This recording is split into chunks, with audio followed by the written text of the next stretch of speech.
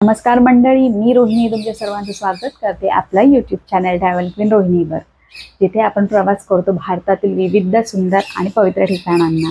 तसेच आज आपण जाणार आहोत गुजरातमधील द्वारका बेड द्वारका आणि नागेश्वर महादेव मंदिरात.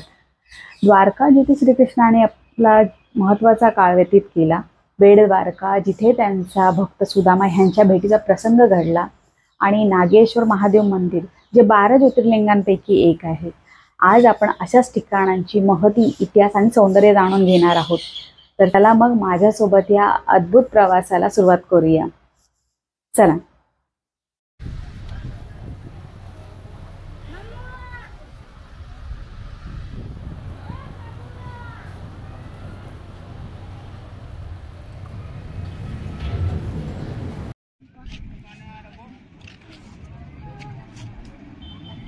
साडेतीन ते चार तासाचा प्रवास करून आम्ही द्वारकाला आले. तर द्वारकाचं मंदिर आहे. तिथे जाते. आता शूट करायला भेटलं तर करेल नाहीतर मग बाहेरूनच. चला. बोटिंग पण करतो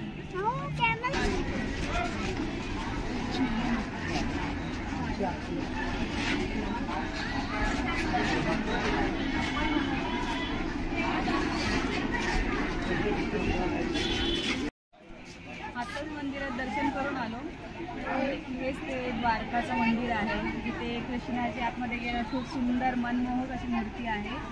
आणि तशी आम्ही लाईन लावली तशी जेंट्स आणि लेडीज वेगवेगळी होती. फ्रंट साईडने लेडीज होती बॅक साईडने जेंट्सची होती. अगोदरच मोबाईल वगैरे सगळे कॅमेरा मोबाईल वगैरे बाहेरच लॉकरमध्ये ठेवावे लागतं त्यामुळे आत्ता बाहेरून येऊन मी शूटिंग करते. आतमध्ये मोबाईल कॅमेराज वगैरे अलाउड नाही आहे स्मार्ट वॉच अलाउड नाही आहे सो आता झालेलं आहे आमचं दर्शन. आता इकडचं मार्केट फिरतो. तर आम्ही इथेच आमचे शूज कार की कारचे स्मार्ट की मोबाईल्स आणि स्मार्ट वॉचेस वगैरे ठेवले होते. हे आतमध्ये असं आहे अशा प्रकारे सगळं ठेवलं जातं. इथेच पार्किंग आहे आणि पार्किंगपासून दोनशे किती? दोनशे मीटर. दोनशे मीटर लांब आहे. पुढे गाडी जात नाही. तसं बरंच पार्किंग आहे. आणि तिथे नाही भेटली तर त्याच्या बाहेर पण पार्किंग आहे. खूप पार्किंग आहे. खूप मोठी जागा आहे. चालत जायला लागतं मंदिराजवळ. हा एकदा इथे पार्क केलं की इथून मग अ, चालत जायला लागेल. तेवढं पण जवळ नाहीये parking. बेट द्वारकेला जाण्यासाठी आपल्याला हा ब्रिज क्रॉस करून जावा लागतो आणि खूप फेमस असा ब्रिज आहे हा. त्यामुळे आम्ही आमचे खूपसे पिक्स क्लिक केले आणि काही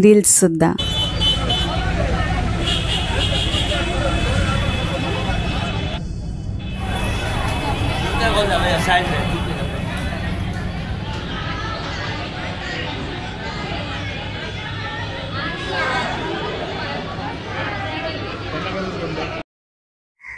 आता आम्ही सोने की द्वारका इथे आलेले आहोत आणि हे द्वारकापासून जवळच आहे आणि बघण्यासारखं सुद्धा आहे. इथे प्रत्येक एका व्यक्तीमागे चाळीस रुपये तिकीट आहे आणि पाच ते दहा वर्षाच्या मुलांसाठी अर्ध तिकीट आहे. इथे तुम्ही आपल्या कीज मोबाईल्स आणि तुमच्या जे काही इलेक्ट्रॉनिक वस्तू आहे ते सगळं आतमध्ये घेऊन जाऊ शकता. शूज तुम्हाला हे गेटच्या बाहेरच काढायचे आहेत. इकडे काही अशी व्यवस्था नाही आहे किंवा लॉकर्स नाही जिथे तुम्ही तुमचे शूज वगैरे ठेवाल. तर इथे मी तुम्हाला भगवान श्रीकृष्णांची काही द्वारकेबद्दल काही माहिती सांगणार आहे. तर ती मगाशी मला सांगायची होती पण सांगता आली नाही. आणि इथे सोनिकी द्वारका आहे तिथे आपण आलो आहोत तिथे असाच देखावा म्हणजे श्रीकृष्णांच्या जन्मापासूनचा देखावा त्याने आपल्यासमोर सादर करण्याचा प्रयत्न केला आहे.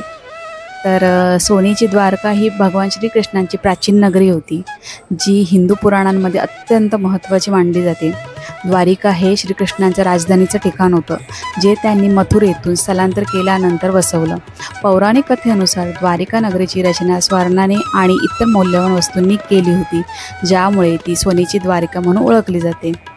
महाभारतातील कथेनुसार द्वारकाचे बांधकाम देवांचे वास्तुकार विश्वकर्मा ह्यांनी केलं होतं. आणि ती समुद्राच्या काठावर एक समृद्ध नगरी म्हणून ओळखली जाते. शहरात भव्य महाल सुंदर बागा आणि सोनेरी वस्तूंनी सजवलेले इमारती होत्या. परंतु द्वारिकेचा अंत भगवान श्रीकृष्णांच्या मृत्यूनंतर समुद्रात बुडाल्यामुळे झाला. अशी मान्यता आहे. आधुनिक संशोधनामध्ये गुजरातच्या किनारपट्टीवर पुरातशास्त्रज्ञांनी प्राचीन द्वारकेचे अवशेष शोधले आहेत जे या महान नगरीचे अस्तित्व सिद्ध करतात.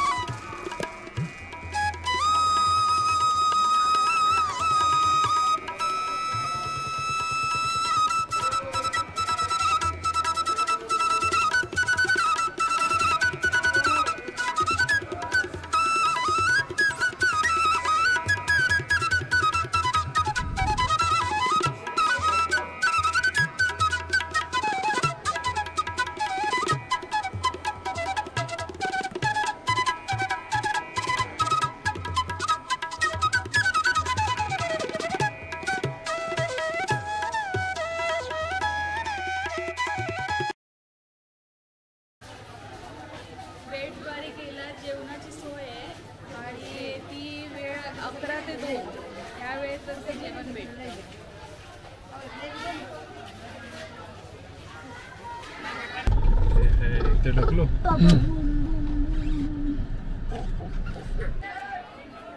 नागेश्वर ज्योतिर्लिंग भारतातील बारा ज्योतिर्लिंगांपैकी एक आहे.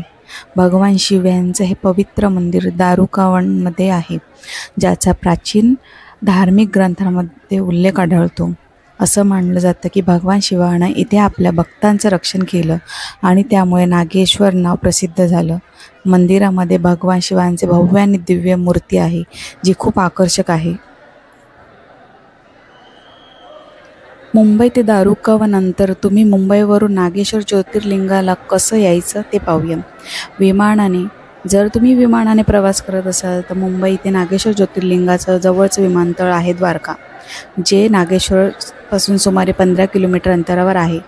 मुंबईवरून मुंबईहून द्वारकापर्यंत हवाई मार्गाने अंतर पाचशे तीस किलोमीटर आहे. जर का तुम्ही बाय रोड मुंबईवरून येत असाल नागेश्वरला तर मुंबईवरून नागेश्वरला रस्त्याने जाण्यासाठी सुमारे नऊशे पन्नास किलोमीटर अंतर आहे. हे अंतर गाडीने सुमारे सतरा अठरा तासाचं आहे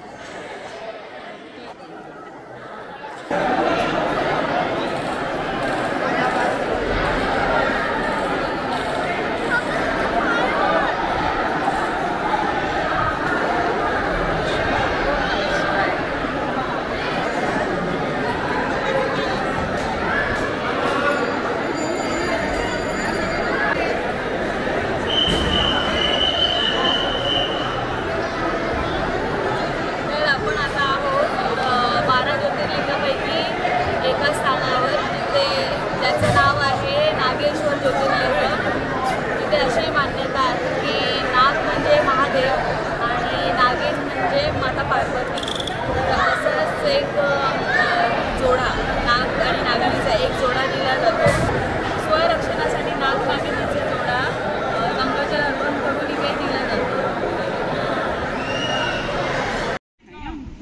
नागेश्वर ज्योतिर्लिंगाजवळील अन्य पर्यटन स्थळे जर तुम्ही नागेश्वर मंदिराला भेट देत असाल तर त्याच्याजवळील काही प्रमुख ठिकाणे नक्की भेट द्या. नंबर एक द्वारकाधीश मंदिर भगवान श्रीकृष्णाचं प्रसिद्ध मंदिर जे द्वारकामध्ये आहे. नंबर दोन बेट द्वारका श्रीकृष्णांचं वास्तव्य असलेलं हे स्थान समुद्राच्या मध्यभागी आहे येथे बोटीने जाता येतं. नंबर तीन गोपीनाथ मंदिर द्वारकाजवळचं एक अन्य महत्त्वाचं धार्मिक स्थान आहे. नंबर चार रुक्मिणी मंदिर. श्रीकृष्णांच्या पत्नीचं हे मंदिर द्वारकाजवळ आहे. ओम नम शिवाय.